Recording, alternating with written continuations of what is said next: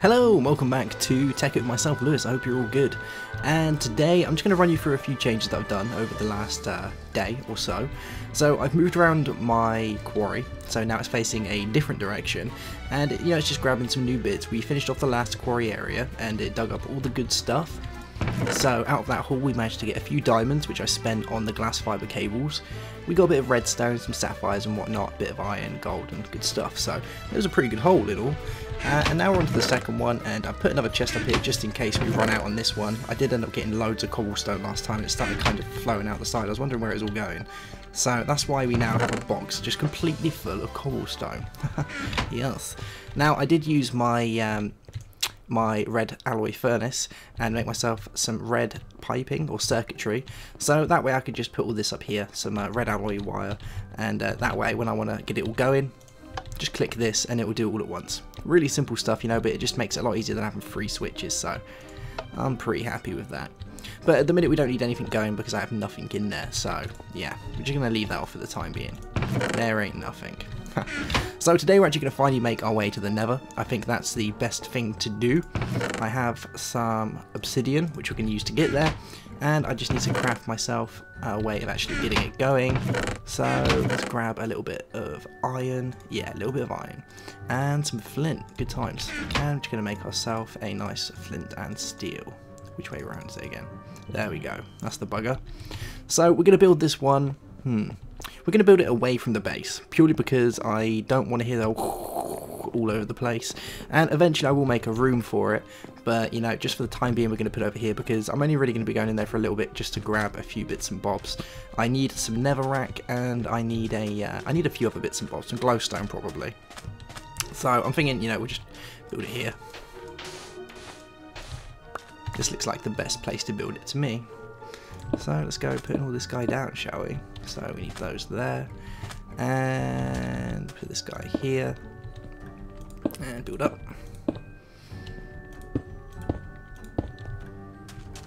Cool. It's looking good. And let's just get on top. And build across here. Ooh, very close. Oh, maybe we need just one more. One more obsidian. Nope, I put a little bit of sand in the corner and it did it. I thought for a minute then the uh, this video was already over before I even started, but you know, I put my magical skills to mind and remembered that you don't actually need to put the corners in. So, good times. Alright guys, so I'm thinking the best thing probably to do is going to be to, I'm going to put my stuff in here. All the stuff that we don't need while we're there. So I'll leave my shovel behind, my axe, uh, we'll leave this behind. I'll take some torches and whatnot. And actually, I might take my shovel just in case, you know, if we need to get ourselves some soul sand or something like that. So let's go and have a look. And hopefully it's going to be a good spawn this time. My Feed the Beast, it was terrible. Here we go.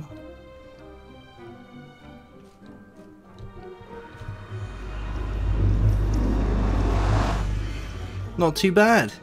Not too bad at all. I'm quite impressed with this one. Quite impressed. And automatically we have some soul sand. So I'm just going to grab a few bits of this first. You know, you never know when you're going to need some soul sand. There we go. Loads of soul sand. Amazing. Cool beans. Right, so we've got that. Oh, we spawned right next to some glowstone. I'm really liking this spawn. You know, this is a really good spawn.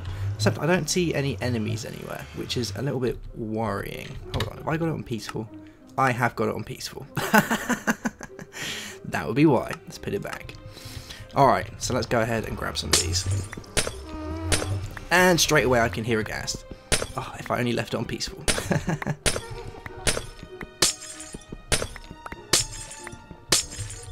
Very nice. Oh, look at this stairway up here. wonder where that goes to.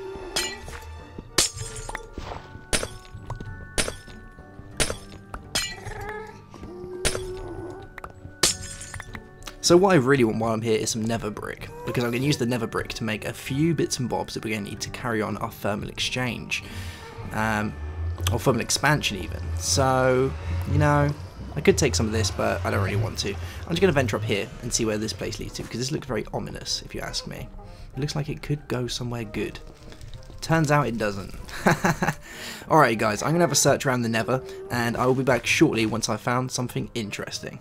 Alrighty, so we're literally, what, 112 meters away from the portal and I've already found myself a very nice nether fortress. So we're going to go ahead and take a few of these bricks because these are really what I'm here for. These guys are really loud. if only they could just put a uh, gobstopper in it. So we're just going to go ahead and grab some of this. I could venture further in, you know, but I'm a little bit worried. Could venture in, but once if I die or get blown up by a blaze, I can already see a blaze there staring at me. You know, I might just have a little gander around and then run away. Let's just have a quick look in here and see what we can find. You know, it's always interesting when you come to these places. I'm going to take some of this as well.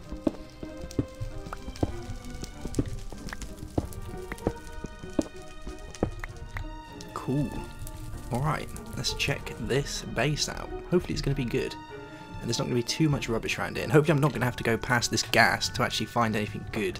Really, I want some nether warts you know, because once you've got a few, you don't have to worry about it then. You can just grow them. Nice and easy. Hmm. Nothing around here. Alright guys, I'm going to go check out this base and hopefully not die. And I'll be right back. Nope, unfortunately I didn't manage to find any, but that's not a worry. You know, we can always come back another time. So I'm going to make my way back to the overworld now. And is it dark outside? It is dark outside. I hate it when it's dark outside. Only bad things happen when it's dark. Purely my quarry stops running because it's all it's all powered by solar energy. But that's alright, I guess. You can always have a little sleep. I really do something about this bridge though, because having a having well in the last episode we had a creeper run across it and pretty much kill me or try and kill me inside my base, which was not very cool. So I'm just gonna have a little sleepies and then we'll be right back. Right, so we're back, had a sleep, feeling better. Now what we're going to do today is we're going to make a few more things just before we kind of get leave it alone. And you know, with all this sort of stuff we've got here, you really can make a really cool kind of uh, line of machines. So that's really what I'm intending on doing. And we're going to use the Nether, once I've got another base here, for another purpose really. Uh, more for the uh, magma that it holds. I want all of its lovely magma. So yeah, that's the plan I think. So the first thing we're going to make before we start doing anything uh, really snazzy is a induction smelter. Now this guy is really cool because you can double your ore output with it, which is really nice, but it does require a few other things to get going, so you do have to use sand and other bits to uh, make it, you know, well not to make it, but to get it going. So yeah, bit of a weird one. So let's have a look and check this guy out, shall we? So the induction smelter, which is this bad boy here. Now to make him, we need sand, we need a bucket, we need a machine frame, which is the older iron, the gold, and the glass. So let's just go ahead and make a few of these items now. And what else do we need? We need iron, we need a bit of gold, which we've got tons of gold. And we'll take some redstone with us as well, because we need the redstone in a minute anyway. So let's make one bucket, like that. And I always forget which way around this goes. I think it's that way. I hope. Yeah, got it right this time. Good times. Now we need to make a reception coil. This bad boy here. And we need some sand. Yeah, loads of sand. So this guy looks just like this. And we got copper on us. We need a little bit of copper. We'll take a whole stack. Why not? so we're just going to put the copper along here. And we'll put this guy here. And this guy here. And some sand. And a bucket. Good times. Gives us one of these bad boys. Now, these are pretty cool. You know, I'm just going to lay it along here. I'm going to get myself another uh, pipe so we can power it. And eventually we're going to need some more power than what we've got going here. You know, this isn't the best energy setup, but you know, at least it works.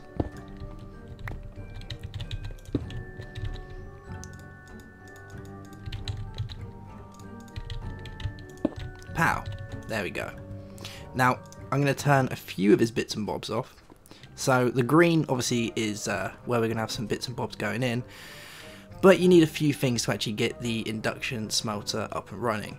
Now, the smelter itself has a storage space of uh, 4,800 millijoules, which is quite nice, an internal capacitor, and it runs on a round about 9 millijoules a tick at full capacity, so it does take a bit to get itself going, but it's quite nice once it is going, which is uh, pretty cool. So, like I say, you can double your output with it, so let's go have a look, see if I've got some uh, stuff that we can use. So we've got some pulverized tin, some silver, a little bit of copper. Let's try the copper, see how it works. So we're going to pop this guy inside here, like that. And it's doing nothing. You wonder why it's not doing anything. Generally it's because you need a little bit of sand in here. And that's the uh, weird kind of byproduct of this that you need to actually get it going. It needs a little bit of sand to work. And uh, there we go, a little bit of sand, very nice. For some reason it doesn't want to do this last bit though. I think it might only do two at a time, which is uh, a bit weird, but that's fine, that's fine I guess. But this isn't the main reason we've got the induction smelter. There's a few things we need to make in here to carry on doing what we're doing. And we're also going to need to make a magma crucible and a liquid transposer to kind of finish off the line of items that we need along here. So I'm going to go ahead and make the uh, magma crucible, which is a very cool item indeed. So, oh, there's a... oh, I blew up all my stuff. This is why we need to do something about the gate downstairs. Alright guys, back in two seconds once I've cleared this mess up. And as if by magic, it's all remade. Voila! So, and for some reason though, my uh, boxes are going mental again. Damn you, Optifine. Oh. now, where was we before we almost got blown up by a creeper? We was in the middle of making a magma crucible. Alright, so magma crucible is going to be the one we're going to look at now. So we need nether brick, we need machine frames, redstone, copper, and a bucket. So let's go ahead and make a load of this now. So we've got a bucket. We need a we need another one of these reception coils, like this. We need some glass, which is around here somewhere. There you are. And we need to go ahead and make another one of these machine frames. Just like that. One machine frame and we needed the nether brick. So if I can remember how this goes. Was it that and that? Ooh, sounds close. A little bit of copper. There we go. One magma crucible. Now this guy is really cool. So what we're going to do here is we're going to change this output to nothing because I'll just take it out manually, you know? I'll take it out manually, it's easier. And I'm going to grab myself a, another uh, bit of pipe, another stone conductive pipe, like this.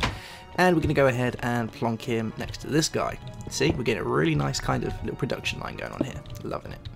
And we're just going to put this guy like this. Now, we're going to turn this side off because we don't need anything here. But what we can do with this, once it starts getting enough power, so let's turn these guys on, get a bit of power going.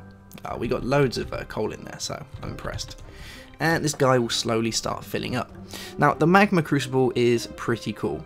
How it works is you can throw certain items like cobble, stone, netherrack, obsidian and whatnot in there and it will create lava.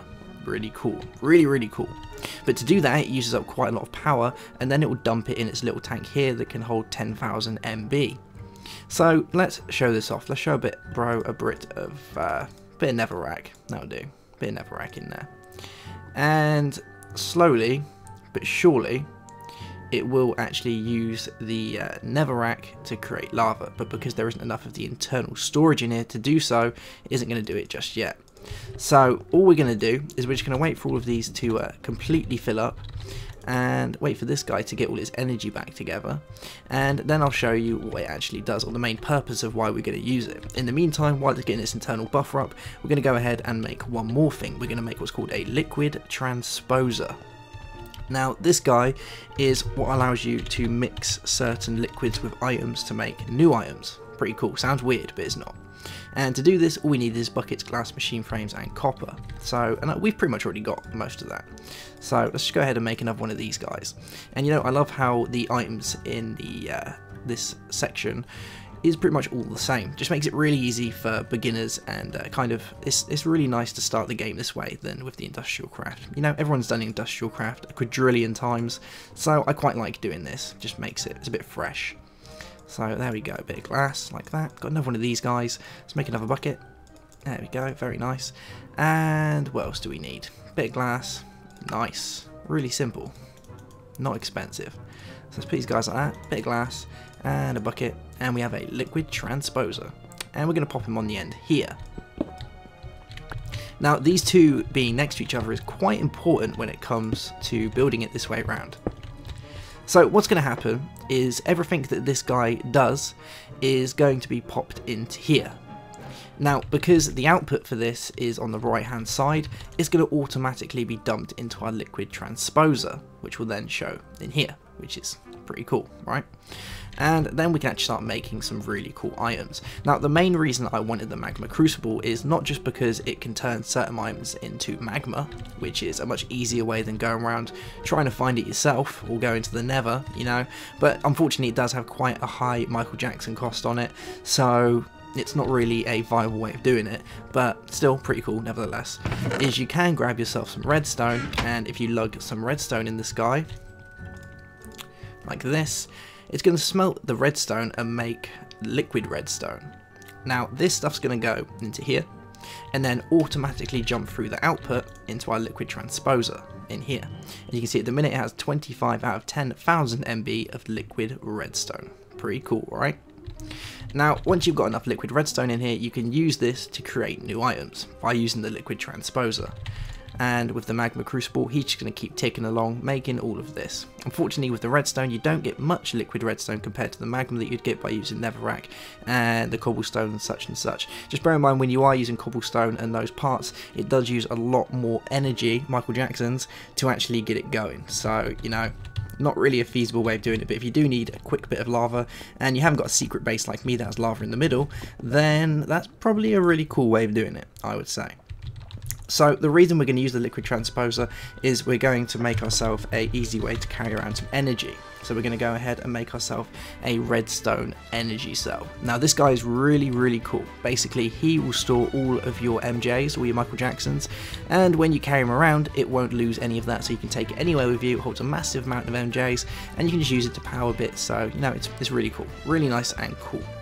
Alright you guys, so I'm thinking we're going to leave this one here, you know, we've got blown up already once today, so I don't want to make that a second.